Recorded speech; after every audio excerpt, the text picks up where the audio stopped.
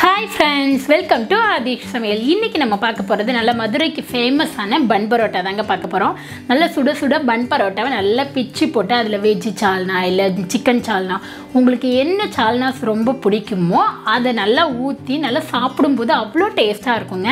இப்போ எப்படி செய்கிறது அது நல்லாவே நம்ம சிம்பிளாக எப்படி லேயர் லேயராக அவ்வளோ ப்ளஃபியாக செய்கிறது அப்படிங்கிறத பார்க்க போகிறோம் வாங்க பார்க்கலாம்.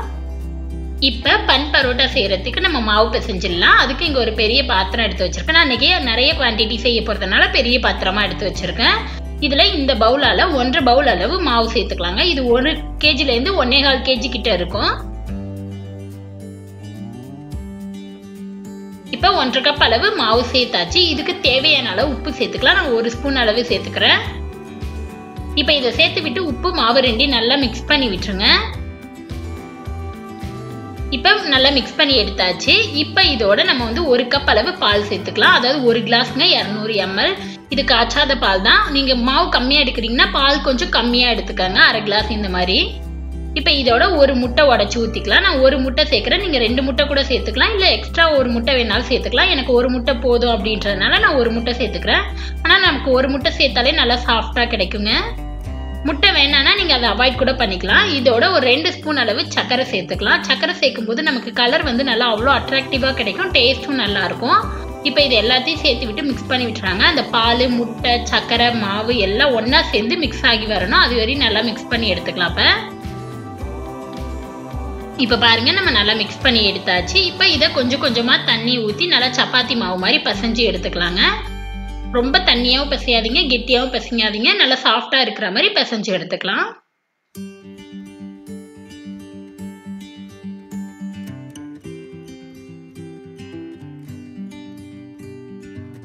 இப்போ பாருங்க நம்ம நல்லா பிசைஞ்சு எடுத்தாச்சு. நல்லா சாஃப்டாக பிசைஞ்சு எடுத்தாச்சு. இப்போ இதோட ஒரு நாலு ஸ்பூன் அளவு எண்ணெய் ஊற்றிக்கலாம் ஒரு நாலுலேருந்து எண் அஞ்சு ஸ்பூன் கிட்ட எண்ணெய் ஊற்றிக்கோங்க இதை சேர்த்து விட்டு மாவு எண்ணெய் எல்லாம் நல்லா ஒன்றாகி வர்ற வரை பிசைஞ்சு எடுத்துக்கலாம். இப்போ பாருங்க நம்ம நல்லா பிசைஞ்சு எடுத்தாச்சு. இப்போ இதுக்கு மேலே ஒரு ஸ்பூன் அளவு எண்ணெய் ஊற்றி நல்லா அப்ளை பண்ணி வச்சிடலாம். அப்போ தான் நமக்கு மாவு வந்து நல்லா காயாத இருக்கும். இப்போ இதை நல்லா தடவி விட்டுலாம் இப்போ இதை ஒரு மூடி போட்டு மூடி நல்லா ஒரு ரெண்டு மணி நேரமாவது ஊற வைங்க. அப்போ தான் நமக்கு பரோட்டா வந்து நல்லா சாஃப்டாக கிடைக்கும். இப்போ இங்கே ரெண்டு மணி நேரம் ஆகிடுச்சு. நம்ம ஓப்பன் பண்ணி பார்க்கலாம். பாருங்க நம்ம கையில் அழுத்தும் போதே தெரியும் மாவு நல்லா சாஃப்டாக ஊறி வந்திருக்கு. இப்போ இதை ஒரு ஒர்க்கிங் ஏரியாவுக்கு மாற்றிக்கலாம் இந்த மாதிரி ஒரு குட்டி பவுலில் எண்ணெய் எடுத்துக்கோங்க. இதில் நல்லா கீழே கொஞ்சம் எண்ணெய் தூவி விட்டுறலாம். நீங்கள் ஏதாவது சப்பாத்தி கட்டையில் செய்கிறனதை கூட செய்யலாம். நமக்கு கீழே செய்யும்போது இன்னுமே கம்ஃபர்டபுளாக இருக்கும். இப்போ நம்ம பிசைஞ்சு எடுத்து வச்ச பரோட்டா மாவை வச்சுட்டு நல்லா பிசைஞ்சிக்கலாங்க. நல்லா எவ்வளோ உங்களால் இழுத்து பிசைய முடியுமோ அந்த அளவு பிசைஞ்சுக்கோங்க. அப்போ தான் வந்து நமக்கு நல்லா சாஃப்டாக கிடைக்கும். மாவு சாஃப்டாக கிடைச்சாதான் பரோட்டா வந்து நல்லா சாஃப்டாக இருக்கும். இதுக்கு வந்து ரொம்பலாம் எதுவுமே இல்லைங்க. நம்ம எப்படி டெய்லி துணி துவைப்போமோ அந்த மாதிரி நல்லா அடித்து பிசைஞ்சு துவைச்சிக்கோங்க. அவ்வளோதாங்க இதில். இப்போ இதை நல்லா பிசைஞ்சு எடுத்துகிட்டு பார்க்கலாம்.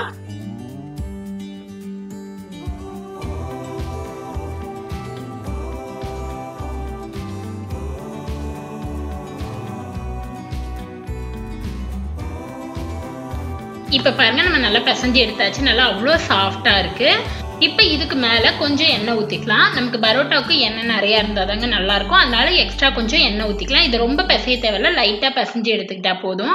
அப்போ தான் நமக்கு உருண்டை பிடிக்கலாம். நல்லா அவ்வளோ சூப்பராக வரும். அதனால லைட்டாக பிசைஞ்சு எடுத்துக்கலாம் இப்போ இதை.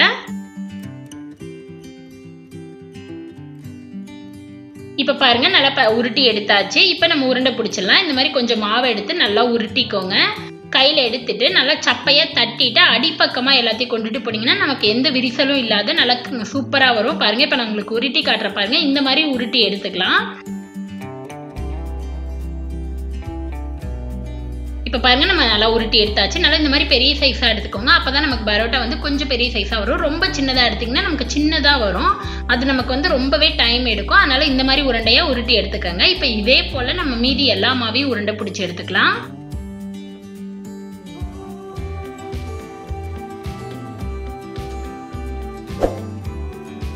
இப்போ பாருங்க நம்ம எல்லா உருண்டையும் பிடிச்சி எடுத்தாச்சு. நான் இப்போ அதே மாவு பிசைஞ்சு அதே பாத்திரத்தில் தான் வச்சுருக்கேன். இதில் வந்து எண்ணெய் மேலே கொஞ்சம் நல்லா ஊற்றி விட்டுறலாங்க.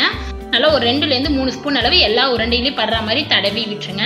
நீங்கள் ஒவ்வொரு உருண்டையாக பிடிச்சிட்டு கூட எண்ணெய் தடவி விட்டுக்கலாம். அது ரொம்ப எண்ணெய் அதிகமாக இருக்கும். நமக்கு ஹெல்த்துக்கும் நல்லது இல்லை ஆக்சுவலி பரோட்டா வந்து ஹெல்த்துக்கு நல்லது இல்லைதாங்க ஆனால் எப்பயாவது ஒரு டைம் நம்ம சாப்பிட்லாம். அதனால முடிஞ்ச அளவு எண்ணெய் கொஞ்சம் கம்மி பண்ணிக்கோங்க.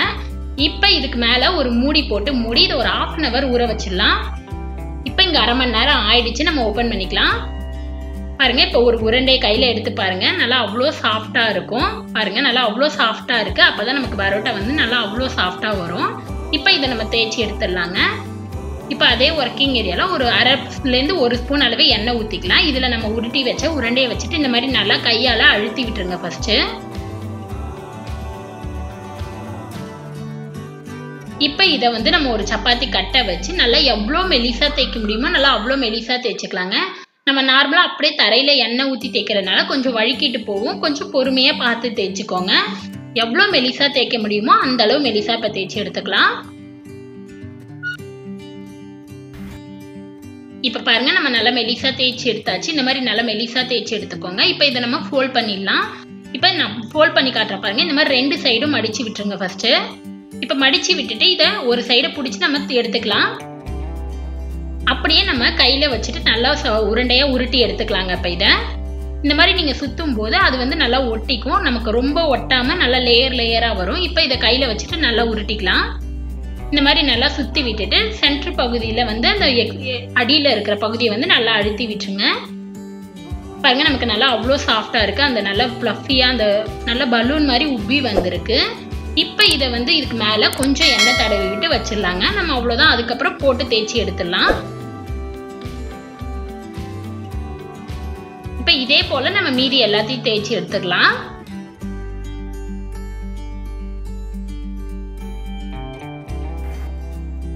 இப்போ நீங்கள் இதை அடித்து கூட தேய்ச்சிக்கலாங்க. அப்பயும் நமக்கு நல்லா இருக்கும். இந்த மாதிரி லைட்டாக எண்ணெய் ஊற்றிட்டு நல்லா தேய்ச்சிக்கோங்க. ரொம்ப தேய்க்காதீங்க. மீடியமாக இந்த மாதிரி உருண்டையாக தேய்ச்சிட்டு கீழே நாலு விரல் மேலே நாலு விரல். இந்த மாதிரி பிடிச்சி நல்லா அடிங்க. உங்களுக்கு நல்லா விரி நல்லா அவ்வளோ தின்னாக வரும். நல்லா அவ்வளோ சூப்பராகவும் வரும். பாருங்கள் உங்களுக்கு நான் அடித்து காட்டுற பாருங்க இந்த மாதிரி நல்லா கீழே ஒரு நாலு விரல் மேலே நாலு விரல் நல்லா ஒரு ரவுண்ட் ஷேப்க்கு நீங்கள் அடிச்சுட்டே வந்தீங்கன்னா நல்லா இந்த மாதிரி நல்லா மெலி ஷீட் மாதிரி நல்லா நமக்கு வரும். இப்போ இதை எடுத்துட்டு ஒரு எட்ஜி பகுதியை எடுத்துட்டு நம்ம இதை வந்து நல்லா உருண்டையாக பிடிச்சி எடுத்துடலாம். பாருங்க நமக்கு நல்லா அவ்வளோ டிரான்ஸ்பரண்ட்டாக கீழே உள்ள பகுதியெல்லாம் நல்லா தெளிவாக தெரியுது. இப்போ இதே போல் அந்த ஒரு ரெண்டு மூணு விரலில் வச்சுட்டு நல்லா உருட்டிட்டு இந்த மேலே நல்லா எண்ணெய் அப்ளை பண்ணி வச்சிடலாங்க. இப்போ பாருங்க நம்ம எல்லா உருண்டையும் பிடிச்சி எடுத்து வச்சாச்சு. இப்போ இதை நம்ம தட்டி போட்டுற வெள்ளதாங்க இப்போ இந்த மாதிரி தேய்ச்சி வச்ச ஒரு உருண்டை எடுத்துக்கோங்க. இதை வந்து நல்லா எண்ணெய் ஆல்ரெடி அதிகமாக இருக்கும். அதனால நான் அதிகம் சேர்க்கல. உங்களுக்கு எண்ணெய் வேணும்னா ஒரு அரைலேருந்து ஒரு ஸ்பூன் அளவு சேர்த்துக்கலாம். சேர்த்து விட்டு கையில் கூட நீங்கள் அழுத்திக்கலாம். இல்லைனா கீழே வச்சு கூட அழுத்திக்கலாம். ரொம்ப அழுத்தாதீங்க. இந்த மாதிரி நல்லா கொஞ்சம் மொத்தமாக இருக்கிற மாதிரி அழுத்திக்கோங்க. நமக்கு பன் பரோட்டாவுக்கு மொத்தமாக தான் இருக்கணும். அதனால் ரொம்ப அழுத்தாமல் இந்த மாதிரி நல்லா மொத்தமாக அழுத்திக்கோங்க. ரொம்ப அழுத்தக்கூடாது. இப்போ இங்கே தோசை தவா வந்து நல்லா சூடாயிடுச்சு. இதில் ஒரு நாலு ஸ்பூன் அளவு எண்ணெய் ஊற்றிக்கலாங்க பன் பரோட்டாவுக்கு எண்ணெய் நிறையா இருந்தால் தான் நல்லாயிருக்கும். அதுலேயும் நம்ம வந்து இதில் ஒரு தோசைக்கல்லில் வந்து நாலுலேருந்து அஞ்சு போடலாம். உங்களோட கல் சைஸை பொறுத்து நம்ம போட்டுக்கலாம். அதனால நாலுலேருந்து அஞ்சு ஸ்பூன் ஊற்றும் போது நமக்கு ரொம்ப எண்ணெய் அதிகமாக சேராது. நீங்கள் இன்னும் எக்ஸ்ட்ரா கூட எண்ணெய் வேணுனாலும் சேர்த்துக்கலாம்.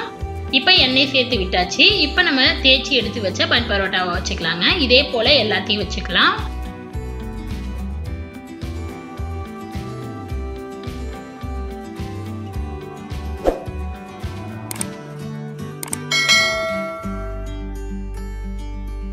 இப்போ பாருங்க நம்ம எல்லாத்தையும் வச்சாச்சு. நான் மொத்தம் அஞ்சு வச்சுருக்கேன். இப்போ இதை வந்து அடுப்பை நல்லா ஸ்லோலேருந்து மீடியம் ஃப்ளேமுக்குள்ளே தாங்க இருக்கணும். வச்சுட்டு நல்லா ஒரு மூணுலேருந்து நாலு நிமிஷம் வேக வச்சுக்கலாம். அப்போ தான் நமக்கு நல்லா வெந்து வரும். ச நல்லா செவந்து வர்ற வரையும் நம்ம வேக வச்சுக்கலாம். அடுப்பை மீடியம் ஃப்ளேமுக்கு கம்மியாகவே வைங்க. ஹை ஃப்ளேமில் வச்சிங்கன்னா சீக்கிரம் காந்திடும். நமக்கு வந்து உள்ளே வேகாது. இப்போ ஒரு அஞ்சு நிமிஷம் கழித்து பார்க்கலாம். இப்போ இங்கே அஞ்சு நிமிஷம் ஆகிடுச்சு. அடியில் நல்லா செவந்துருச்சு. இப்போ இதை எல்லாத்தையுமே பரட்டி போட்டுடலாம். பாருங்கள் நமக்கு கலர் நல்லா அவ்வளோ அட்ராக்டிவாக நல்லா கோல்டன் ப்ரௌன் கலருக்கு வந்திருக்கு. இந்த கலரில் இருக்கும்போது தான் நமக்கு சூப்பராக இருக்கும்.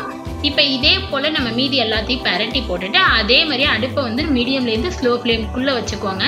வச்சுட்டு இதை ஒரு அஞ்சு நிமிஷம் வேக வச்சுக்கலாம். ஒரு டைம்க்கு ரெண்டு டைம் பரட்டி போட்டு வேக வைங்க. அப்போ தான் நமக்கு வேகும் நல்லா. ஒரு ரெண்டு டைமாவது நம்ம பரட்டி போட்டு இப்போ இதை எடுத்துக்கலாம். இப்போ ஒரு ரெண்டு டைம் பரட்டி போட்டு ஒரு அஞ்சு நிமிஷம் வேக வச்சு எடுத்துட்டேங்க. பரோட்டா நல்லா வெந்துடுச்சு. பாருங்க நல்லா லேயர் லேயராக பிரிஞ்சு வந்திருக்கு. உங்களுக்கு பார்க்கும்போதே நல்லா தெளிவாக தெரியுது. அவ்வளோதான் இப்போ இதை ஒரு பிளேட்டில் எடுத்து வச்சிடலாங்க. நம்மளோட பன் பரோட்டா சூப்பராக ரெடி ஆயிடுச்சு. இதே போல் நம்ம மீதி எல்லாத்தையும் போட்டு பொறிச்சு எடுத்துடலாம். இப்போ இதை நம்ம வந்து ஃபஸ்ட்டு அடிச்சிடலாம். இந்த மாதிரி போட்டு எடுத்தோம். ஒரு ரெண்டுலேருந்து மூணு பரோட்டா வச்சு இந்த மாதிரி கையால் நல்லா அடிச்சு விட்டுருங்க. அப்போ தான் நமக்கு அந்த லேயர்ஸ் எல்லாம் பிரிஞ்சு நல்லா பரோட்டா சாஃப்டாக இருக்கும். இப்போ நான் உங்களுக்கு எடுத்து காட்டுறேன் பாருங்கள் நல்லா அவ்வளோ சூப்பராக இருக்குது நல்லா பன்னு மாதிரி நல்லா குண்டாக அவ்வளோ லேயர் லேயராக அவ்வளோ சாஃப்டாகவும் இருந்துச்சு. உங்களுக்கு பார்க்கும்போதே நல்லா தெரியும். லேயர்ஸ் எல்லாம் நல்லா பிரிஞ்சு வந்திருக்கு நமக்கு. அவ்வளோதான் நம்மளோட பன் பரோட்டா சூப்பராக ரெடி ஆகிடுச்சிங்க அவ்வளோதான் இதோட உங்களுக்கு என்ன சால்னா இஷ்டமோ இல்லை குருமா இஷ்டமா கறி இஷ்டமோ எது வேணாலும் நீங்கள் சேர்த்து சாப்பிட்லாம். நல்லா அவ்வளோ டேஸ்ட்டாக இருக்கும். ரொம்பவே சிம்பிளாகவும் செஞ்சுட்டோம். இதுக்கு ரொம்ப கஷ்டப்பட தேவையில்ல. கண்டிப்பாக நீங்களும் ட்ரை பண்ணி பாருங்கள் உங்களுக்கு இந்த வீடியோ பிடிச்சிருந்துச்சுன்னா லைக் பண்ணுங்கள் ஷேர் பண்ணுங்கள் கமெண்ட் பண்ணுங்கள் மறக்காமல் சப்ஸ்கிரைப் பண்ணுங்கள் கூடவே இருக்கிற பெல் பட்டனை ப்ரெஸ் பண்ணுங்கள் அப்போ தான் நான் எப்போ வீடியோ போட்டாலும் உங்களுக்கு நோட்டிஃபிகேஷன் வரும். நெக்ஸ்ட் ஒரு நல்ல ரெசிபியில் உங்களை பார்க்குறது வரைக்கும் பாய்